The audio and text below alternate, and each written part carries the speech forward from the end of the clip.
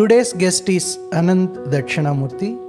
He is speaking about his passion for reading and publishing and his upcoming trip to India and Sri Lanka to look for literature for publication as a part of the SALT initiative. Aananth Daksnamurthy is a Fulbright scholar graduating with a master's in publishing from New York University. His first book acquisition, a Swedish novel titled The Details, was shortlisted for the International Booker Prize 2024. Aananth is also part of the SALT contingent visiting India, Sri Lanka, and Bangladesh this year, scouting for literature to get published in the USA and the UK. SALT, South Asian Languages in Translation, is an initiative by the University of Chicago to bring South Asian literature to the Anglophone world. Translators Daniel Hahn, Jason Grunebaum, Arunava Sinha, Daisy Rockwell, and author V.V. Ganeshanandan are part of the team leading SALT. Welcome to Harshaneeyam Aananth. Thank you for having me. It's a pleasure to be here. So, how did you develop interest in literature to begin with? Okay, I was born and brought up in a small town, Trichy, in Tamil Nadu. From childhood, I've started reading pretty early with all the supplements. Usually, the newspaper supplements that come, these are Siruvar Malar, Siruvar Mani, the kid supplementary books uh, that I started reading, and mostly newspapers. That's how I my literary journey started. Uh, uh, I was not a very avid reader initially. I only engaged with news and media in general. But I followed the traditional route of higher education, went on to do engineering. I'm a mechanical engineer from bachelor's degree and went on to do a postgrad diploma in liberal arts at Ashoka University as a Young India Fellow.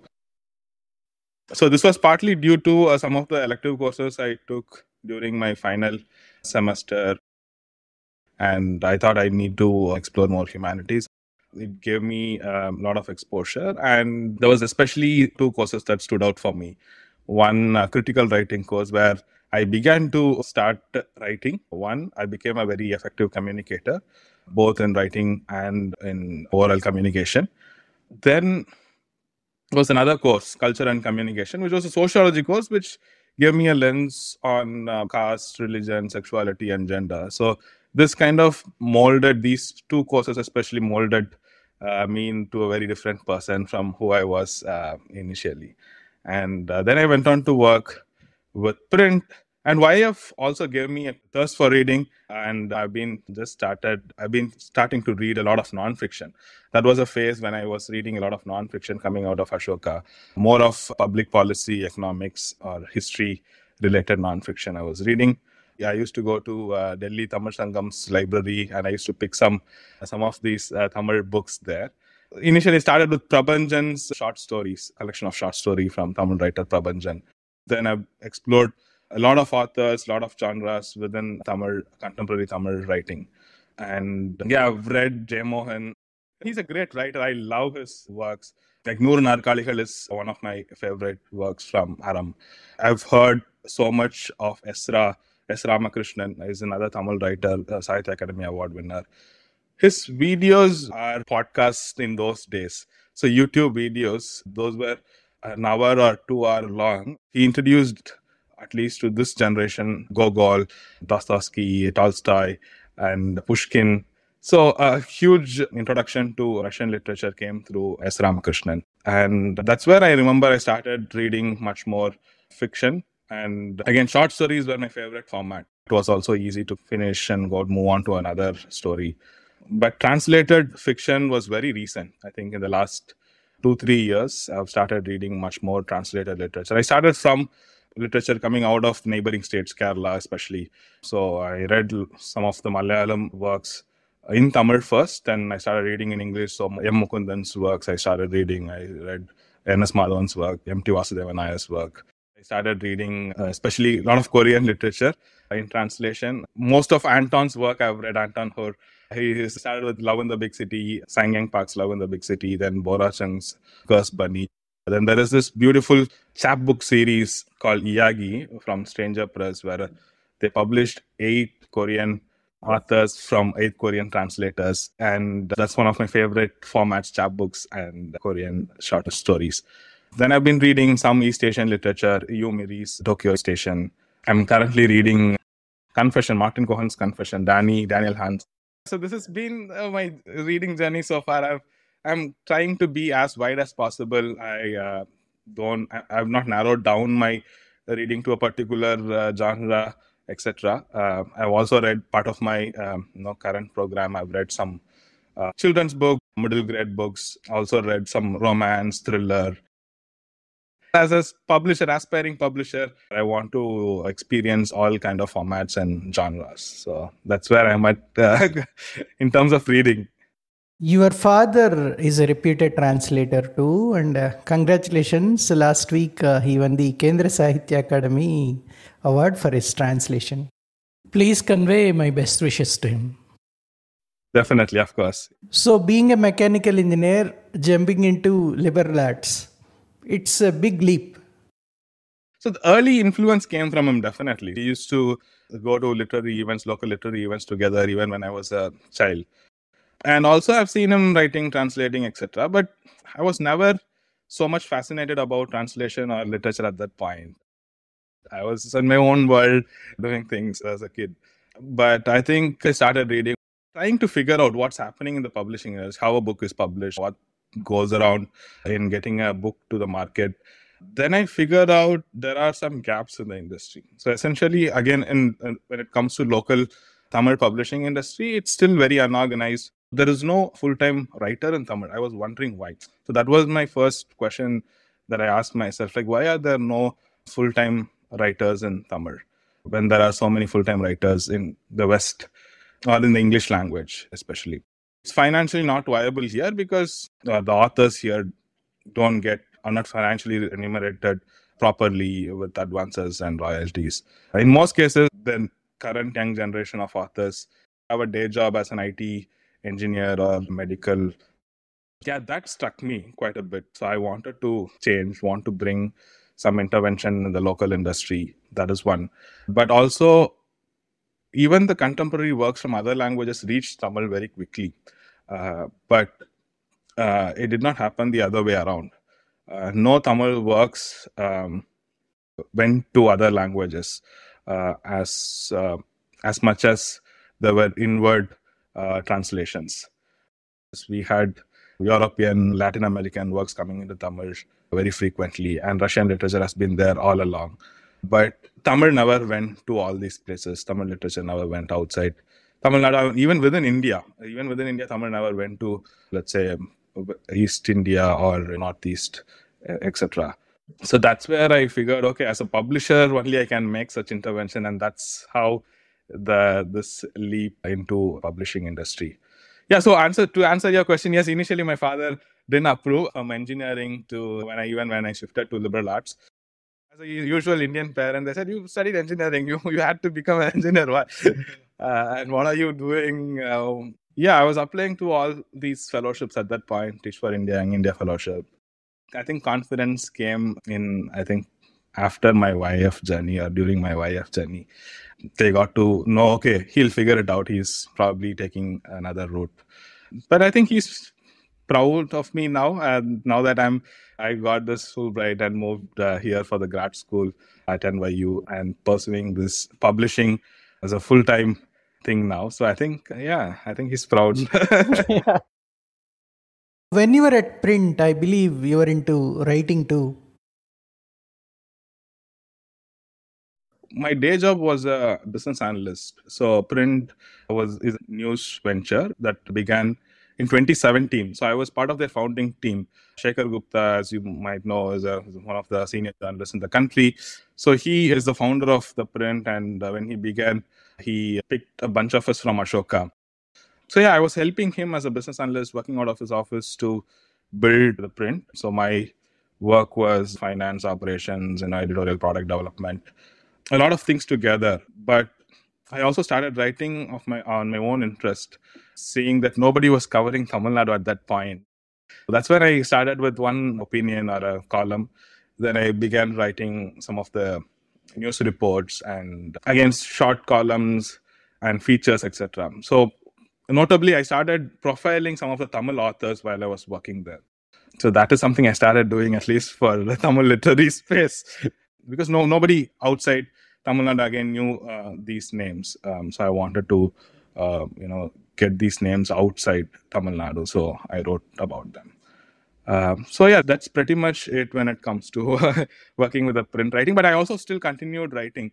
I was with them until end of 2019, and then I came to work with the Higher Education Institute in Chennai, and then I worked with the government of Tamil Nadu in their in industries department, heading their media team. But I was still contributing parallelly. I was still writing for the print here and there. It's something I love doing, writing and seeing my own byline. Yeah, that's been my writing journey. Currently, you are pursuing your master's in publishing from NYU. So, what exactly is uh, MS in publishing? So, even I didn't know there's a core, uh, course, graduate course existed on publishing. While I was looking at some of the courses I would want to pursue, there is this friend of mine, my batchmate, who had done this course. So, this course had two specializations so one was magazine publishing and one is book publishing. So she had done magazine publishing. And that's how I got to know, okay, there is this course that existed. This was a time, again, Fulbright scholarship. So this is an exchange scholarship between India and the US. So Fulbright Masters, Fulbright Nehru Masters Fellowship, it's called. They reintroduced a category called journalism and mass communication in 2022 while 2021 while I was applying. So I thought, okay, this is a right time okay let's just give it a chance and apply under this category uh, for the publishing program and uh, that's how it happened uh, and i got through this uh, program so the program is essentially as a holistic view of the publishing uh, book publishing uh, in different formats so we study from the basics of book publishing how to acquire a book how to edit a book how to market how to sell so we do have courses on marketing publicity, even finance, how to do P&L, uh, profit and loss statement for a book, etc. It gives you or it molds you as a as a professional, any publishing to get into any publishing field, any publishing vertical. We also study genres like children's publishing, academic publishing, or romance, thriller. So we also do study some of the genre fiction formats like podcasting, audiobooks. We also study some of those formats one exceptionally um, uh, good thing about this course is that you get to meet um, some of these big publishers uh, within the classroom. So most of my instructors are professionals, especially from the big fours. Uh, so you get to meet them in the classroom, and that's how even my first book that I acquired also came from my classroom. The first book that you picked up uh, got shortlisted for International Booker. It is published by Ulysses Press. Please tell us uh, about uh, Ulysses Press. So, Ulysses is a small independent press in Brooklyn, and they publish a lot of pop culture, self help, nonfiction. They all do also have some children's and YA imprint as well. Keith Riegert is the current CEO of Ulysses. So, he's also an adjunct professor at NYU. He teaches a course in the publishing program his family has an endowment with NYU. So they have an internal scholarship, and I got that scholarship last spring. And they offered me an internship with Ulysses at that point. Summer last year, so I interned with Ulysses. And when I went there, Keith asked, Okay, what do you want to do? I said, I want to start a publishing venture and bring literature from South Asia into in translation to the West or to the global marketplace. So he said, okay, let's get you started. Let's set it up. So he said, what's the first book that you want to acquire? And that's how I said, okay, the details. So the, the details was one of the first books I read or worked when I came here. One of my initial coursework, uh, it was an intro to book publishing um, subject. And my instructor was Tara Parsons from Harper So she had just acquired that book for her publication. So, and we were working on that as part of our coursework. And I really loved that book. At that point, I decided whenever I become a publisher, whenever I acquire a book, this will be my first book. And it so happened that when I acquired, all came along and I got to acquire this wonderful book. And it's being translated. My uh, father has, is translating now. Ulysses is acting as an accelerator uh, for this imprint at this point. When it evolves, it might become a standalone uh, publishing venture or an imprint. Uh, so that's what I'm aiming to do. Uh, so at this point, it's currently under Ulysses. I'm taking some of their resources and uh, working things out. But it's been amazing. He's been mentoring me, and yeah, we acquired another book also very recently. It's also a Swedish book, When the Cranes uh, Fly South by uh, Lisa Ridzén. I earnestly wish uh, that you become uh, the Fitzcarraldo or the tilted axis uh, for South Asia. I'm amazed by some of these independent or small presses. Tilted Axis is one, Fitzcarraldo is another one. They are here for the last probably within 10 years. So in, in 10 years, they have done so much more than even big four have done. And I, am trying to take inspiration from um, you know a lot of these small presses um, that have come in the recent years, gone to win all major awards in the last uh, five six years of their operation. So I think uh, it's it's really amazing. You are part of the contingent uh, that is visiting India, Sri Lanka, and Bangladesh. It's basically an initiative by SALT. What is it about? So, SALT is a recent initiative under U Chicago. It's, uh, SALT acronym stands for South Asian Literature and Translation. So, this is a body under U Chicago founded by Jason uh, and uh, Danny Daniel Hahn um, both of them are renowned translators. So Danny was my instructor at BCLT, British Center for Literary Translation Summer School. So yeah, so it happened that I met Danny in New York just before BCLT. Also, he had come here to receive his Ottaway Award at that point. So while we were talking, he mentioned about Salt and what their vision is and what programs they have for publishers and translators, etc. Uh, so yeah, they have they they instituted a publisher grant, and they have incredible people in the board from Arunava Sinha to Daisy to Jayashree Kalathil. So this travel grant facilitates publishers from the West to come do a self-directed study in India, Sri Lanka, or any South Asian countries. So it's just a travel grant where you come scout for books or meet publishers, authors, and do your own groundwork, ground research to know the market and to come back and let's say commission sample translations and let take them to english. So this is the process. So i'm i applied as i'm trying to work again work this venture out. So as a part of ulysses press while i'm also taking some of the world literature to tamil i'm also my main motive is to take tamil literature or south asian literature to english. I was supposed to visit this december but things got delayed. So i'll be visiting this may post my graduation. I'm intending to meet publishers, authors, translators, and the community, not just in Tamil Nadu, but also in the neighboring states, Kerala, Telangana, Andhra Pradesh, and even Karnataka. So I think I'll concentrate in southern India first and Sri Lanka and getting in touch with authors and to know what I'm more interested in contemporary works. So I'm looking for contemporary works and young writers who are, are at the forefront of the literary scene now. So, what does the program look like? Has it been formalized? All folks who have selected make their own plans and then they'll make their own trips. You make your own plans, you make your own uh, schedules and meetings. So I, am even thinking uh, if I get a chance, you know, have a pitch session from translators or publishers and to see if I can uh, get any initial works acquired. I mean, I wanted to uh, come around Chennai Book Fair, uh, but yeah, things got delayed. And uh, I think, but also they, it was uh, probably very um, you know, hectic at that point. Everybody was busy. You're also into translations. I'm translating from Tamil to English. I'm starting with a few. I started with a few short stories. Um, I did. Uh, uh, there's a Tamil author Vijay Ravanan, so I translated his uh, one of his stories. This was longlisted for his Commonwealth Short Story Prize 2020. So I translated that. Um, it never got published. It's a very long story, so like most uh, publications have their word limit uh, under less than you know 5,000. Okay, Aananth all the very best for your translations, for your publishing career. Hope to see you in India soon. Thank you so much for having me, and it's a pleasure. I've I've heard, uh, I followed your podcast for some time now, and it's a pleasure being here.